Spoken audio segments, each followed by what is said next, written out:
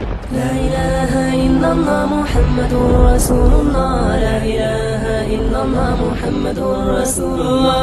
لا إله إلا الله محمد رسول ایک اور سوال جو ذہنوں میں بھی آتا ہے، لوگ پوچھتے بھی ہیں اور یا کبھی پوچھنے سے رک بھی جاتے ہیں کہ بھی اگر تقدیر میں سب کچھ لکھا ہے، تو محنت کرنے کی کیا ضرورت ہے؟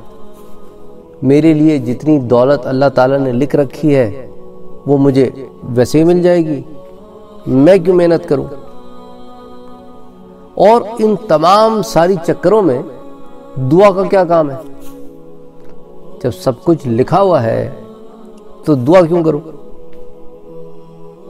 کہ سوال ذہن میں آتے ہیں اور ان کا جواب ضروری ہے۔ اس لیے میں دوسرے لوگوں کے بارے میں تو نہیں کہتا۔ کیونکہ میں نے اکثر لوگوں کو یہی دیکھا ہے کہ وہ لوگوں کو سوال کرنے سے روکتے ہیں۔ تو بھائی بندہ جب سوال نہیں کرے گا تو ذہن کلیئر کیسے ہوگا؟ ذہن کلیئر نہیں ہوگا تو معرفت کیسے حاصل ہوگی؟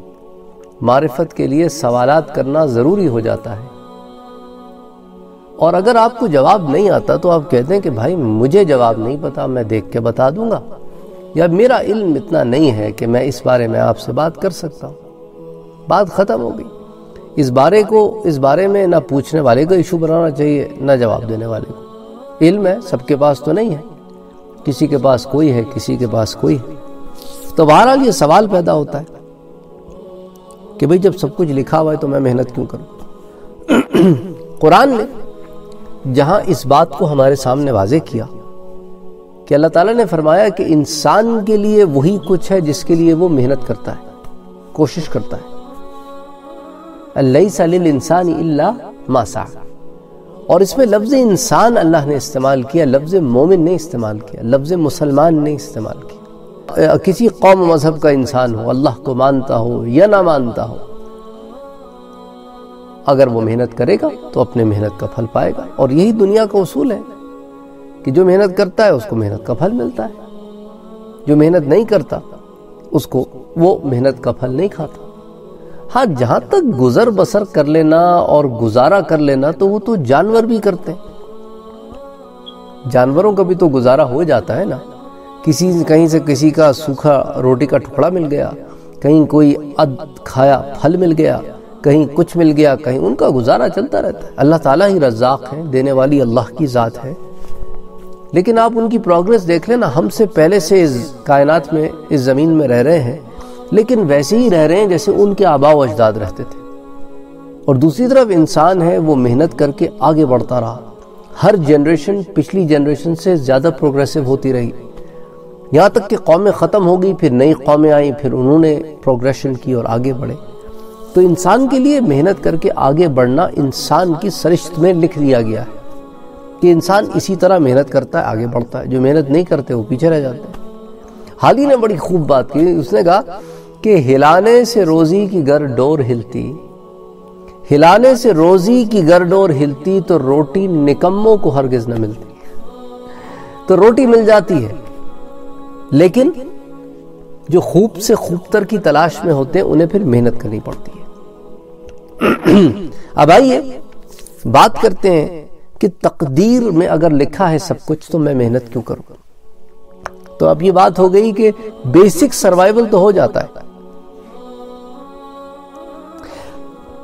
بیسک سروائیول سے زیادہ اگر چاہتے ہیں اور چاہتے ہیں وہ سب کچھ جو ہو، تو پھر میں محنت کیوں کروں؟ اب اس سے پہلے کہ اس چیز کو میں ایکسپلین کروں، قرآن کی چند آیات دیکھ لیتے ہیں، بلکہ ان آیات کو دیکھنے ہی میں اس کی ایکسپلینیشن ہو جائے گی۔ ٹھیک ہے، قرآن کی ایک آیت سے ابتدا کرتے ہیں، جس میں اللہ تعالیٰ فرماتے ہیں کہ میرے پاک نبی محمد مصطفیٰ صلی اللہ علیہ وآلہ وسلم، انہیں یہ بات بتا دیں تاکہ اچھی طرح سمجھ جائے۔ قل لا يعلم من في السماوات والأرض الغيب إلا الله۔ ان سے کہہ دیجیے کہ نہیں جانتا جو بھی ہے آسمانوں میں اور زمینوں میں غیب کو سوائے اللہ کے۔ وَمَا يَشْعُرُونَ أَيَّانَ يُبْعَثُونَ۔ اور نہیں جانتے وہ تو یہ بھی کہ کب دوبارہ اٹھائے جائیں گے وہ۔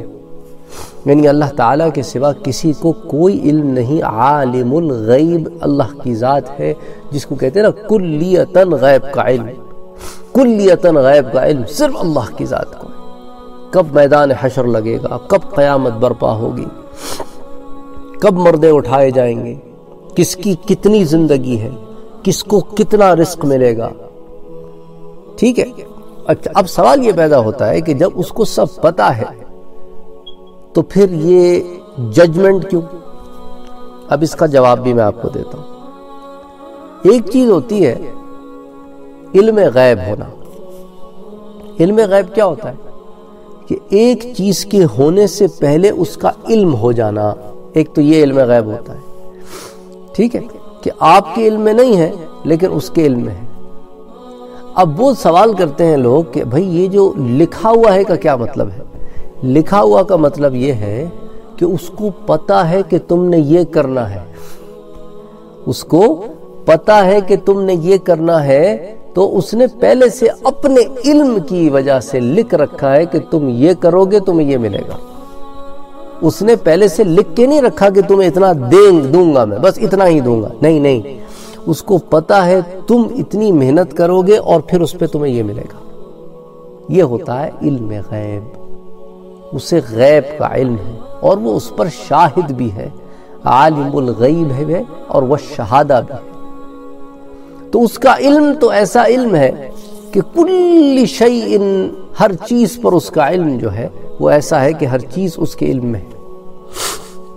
تو اللہ تعالیٰ جو ہے، ان کو علم ہے کہ تم کیا کرو گے وہ ہاتھ پکڑ کے نہیں کراتے تمہیں۔ محنت تم کرتے ہو، لیکن ان کو علم ہے کہ تم محنت کرو گے اور جو کاہل ہیں ان کو علم ہے کہ تم کاہل رہو گے۔ ڈیسیجن تمہارا ہے، لیکن ان کا علم ہے اس چیز کے اوپر۔ قرآن کی ایک اور آیت دیکھیں۔ اللہ تعالیٰ اس میں فرماتے ہیں، ان اللہ علم بے شک اللہ ہی ہے جس کے پاس ہے علم قیامت کا۔ وَيُنَزِّلُ الْغَيْثَ اور وہی برساتا ہے بارش۔ وَيَعْلَمُ مَا فِي الْأَرْحَامِ۔ اور وہی جانتا ہے کہ کیا ہے ماؤں کے رحموں میں، پیٹوں میں۔ اب لوگ اس پر بھی ایک سوال اتارتے ہیں۔ یہ تو پھر ڈاکٹر کو بھی پتہ چل جاتا ہے۔ جب گائناکالوجسٹ کے پاس آپ جاتے ہیں، تو اب وہ بتا دیتا ہے کہ یہ بچہ جو ہے وہ صحت مند ہے، نہیں ہے۔ اور وہ یہ بتا دیتا ہے کہ مرد ہے یا عورت ہے۔ تو پھر اللہ تعالیٰ جو کہہ رہا ہے کہ وہ یا علم و الارحام کا کیا مطلب ہے؟ بھئی تمہارا ڈاکٹر تو صرف اتنا ہی بتا سکتا ہے نا کہ بچے کے فیچرز کیسے ہوں گے فزیکلی کیسا ہے۔ ٹھیک ہے؟ اس کے جینڈر کیا ہے؟ بس۔ کیا ڈاکٹر یہ بتا سکتا ہے کہ باہر نکل کے وہ اچھا انسان بنے گا یا برا انسان بنے گا؟ اللہ نے لکھا نہیں ہے کہ وہ اچھا انسان بناؤ اس کو اس کو برا انسان بناؤ۔ نہیں نہیں۔ اللہ نے یہ نہیں لکھا۔ اس کو علم ہے کہ یہ انسان باہر نکل کر ولی اللہ بنے گا۔ اس کو علم ہے کہ یہ انسان باہر نکل کر شیطان بنے گا، شیطان کا دوست بنے گا۔ اس کا علم ہے۔ اگر تو اس نے یہ ساری چیزیں تم پہ فورس کی ہیں تو پھر ڈے آف ججمنٹ کا مقصد کیا ہے؟ ڈے آف ججمنٹ کا مقصد نہیں بنتا۔ نا جبکہ اللہ تعالیٰ خود قرآن میں کہتے ہیں کہ ہم کسی پہ ظلم نہیں کرتے۔ وَمَا ظَلَمُونَا وَلَكِنْ كَانُوا أَنفُسَهُمْ يَظْلِمُونَ۔ ہم نے تو ظلم نہیں کیا، بلکہ انہوں نے تو اپنی جانوں پہ خود ظلم کیا۔ ہم نے تو ساری چیزیں دی ان کو۔ ہم نے تو آپ سورہ نبا اٹھا کے دیکھیں نا۔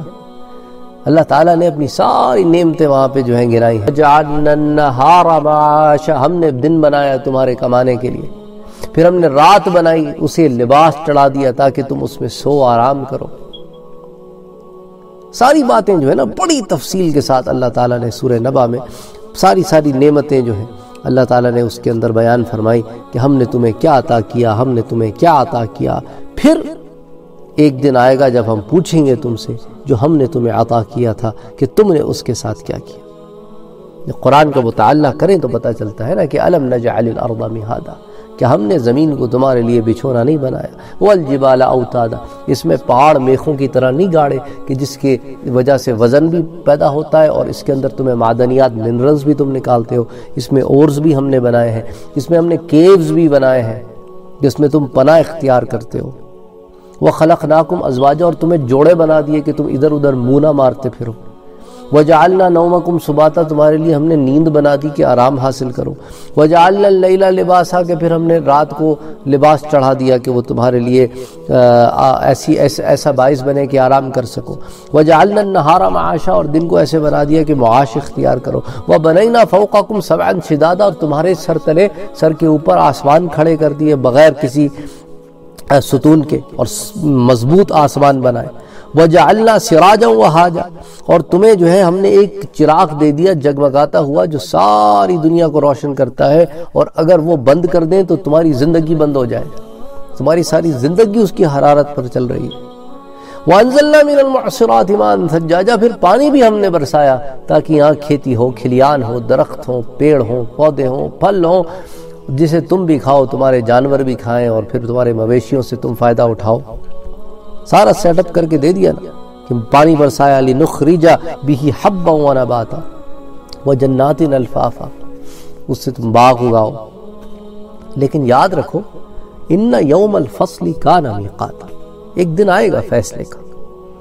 وہ مقرر ہے، وہ ہو کے رہے۔ گا اس نے ہونا ہے، اس کی علم میں ہے، کب ہونا ہے۔ اس لیے کہا، ان اللہ عندہ علم الساعہ اس کے پاس ہے اچھا پھر فرمایا کہ وما تدری نفس ماذا تکسب غدا۔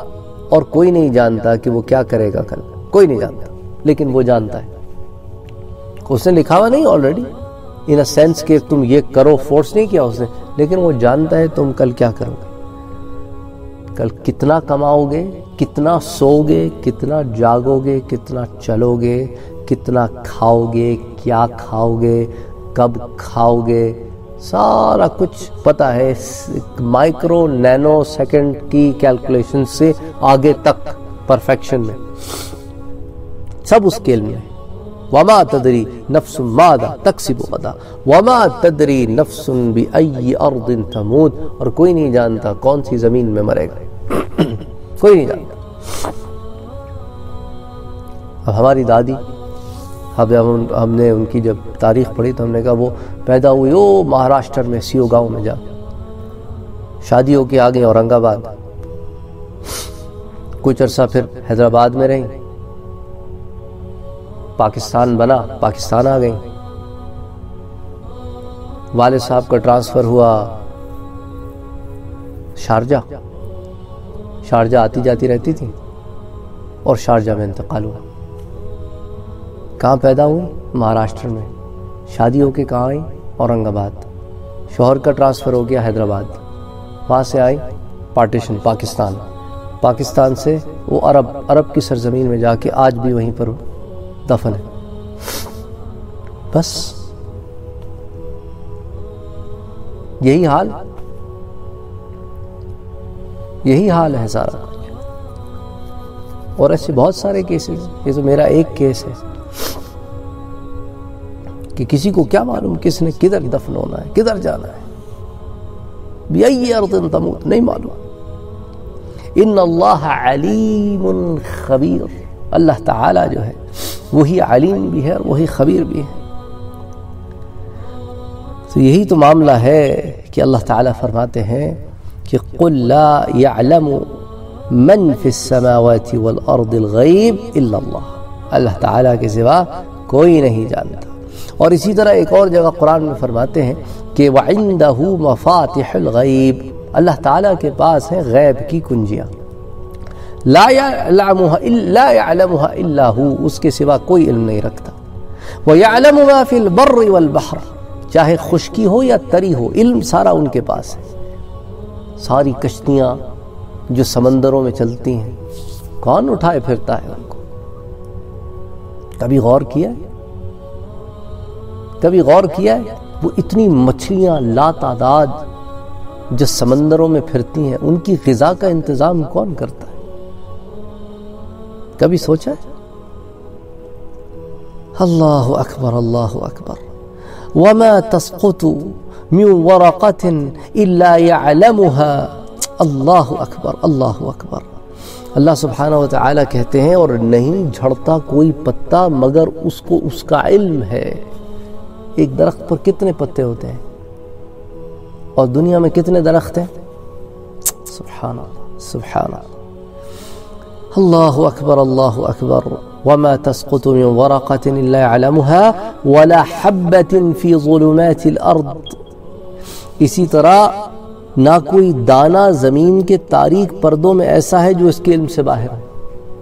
کتنے دانے بوتا ہے ایک کسان ایک کسان۔ اور سوچو دنیا میں کتنے کسان ہیں اور کتنے دانے بوتے ہوں گے۔ اس کے علم میں ایک ایک دانہ جو زمین کی گہرائیوں میں ہے نا، ایک ایک بیج، وہ اس کو واقف ہے۔ وہ اس کی نشو نما کرتا ہے۔ ولا حبة في ظلمات الأرض، ولا رطب، ولا يابس إلا في كتاب مبين۔ اور کوئی ایسی تر یا خشک چیز نہیں ہے، مگر وہ روشن کتاب میں درج ہے۔ یہ جو روشن کتاب میں درج ہے، یہ وہ اس کا علم الغیب ہے جس کے بنا پہ درج ہے۔ اس کی فورس نہیں ہے۔ یہیں آ کے لوگ غلطی کرتے ہیں کہ ہماری کتنی فری ول ہے۔ ہماری کتنی فری ول ہے۔ ہماری اتنی فری ول ہے کہ حضرت علی رضی اللہ تعالی عنہ نے ایک آدمی سے کہا کہ دیکھو، تم اپنی ایک ٹانگ اٹھاؤ تو اٹھا لی، کہا اب دوسری بھی اٹھاؤ، کہتے نہیں اٹھا سکتا، کہتے بس اتنی تیری فری ول ہے۔ تیری اتنی فری ول ہے۔ ایک اللہ نے حدود قائم کر دی ہیں، اس حدود کے اندر تو گزار زندگی۔ تو حدود سے تجاوز کرے گا، تو پھر تو تجاوز کرنے والوں میں سے ہو جائے گا۔ اس حدود کے اندر تو اپنی فری ول ایکسرسائز کر۔ کوئی مسئلہ نہیں۔ کلو کھانا کھاؤ، پانی پیو، اللہ کی نعمتوں کو انجوائے کرو۔ گھر بساؤ، گھر بناؤ، شادیاں کرو، بچے کرو، ان کی تعلیم کرو، ان کی تربیت کرو۔ سیرو فی الارض، گھومو، پھرو زمین میں۔ غور و فکر کرو، تعلیم حاصل کرو، آگے بڑھو، دنیا کے کام بھی کرو، دین کے کام بھی کرو۔ اگر صرف مسلح پہ بیٹھنے کے لیے ہمیں بنایا ہوتا، تو فرشتے تو آلریڈی مسلح پہ بیٹھے ہوئے ہیں۔ ہمیں بنانے کی کیا ضرورت تھی؟ ہمیں تو بنایا اسی لیے گیا کہ اللہ تعالیٰ نے نظام دنیا کو سنبھالتے ہوئے اس کی تابے داری کرنے والی ایک مخلوق بنائی۔ جو خلیفت الارض بھی ہو اور اللہ کی تابے دار بھی ہو، اللہ کی عبادت گزار بھی ہو۔ تو بہرحال کہنے کا مقصد یہ ہے کہ سوال چھوٹا سا تھا، لیکن اس کے لیے ساری تمہید میں نے اسی لیے باندھی کہ اس کو معلوم ہے کہ ہم نے کتنا کرنا ہے۔ اور ہم اتنا کریں گے یہ اس کے علم میں ہے اور وہ اس نے لکھا ہے اپنے علم کے مطابق۔ اچھا ساتھ ساتھ یہ بھی بتاتا چلو ایک پوائنٹ رہ گیا کہ دعا پھر ہم کیوں کرتے ہیں؟ کیونکہ دعا ایک واحد چیز ہے جو تقدیر کو بھی بدل سکتی ہے۔ دعا۔ دعا تقدیر کو بدل دیتی ہے۔ اس لیے دعا کا سب سے بڑا پوائنٹ ہے۔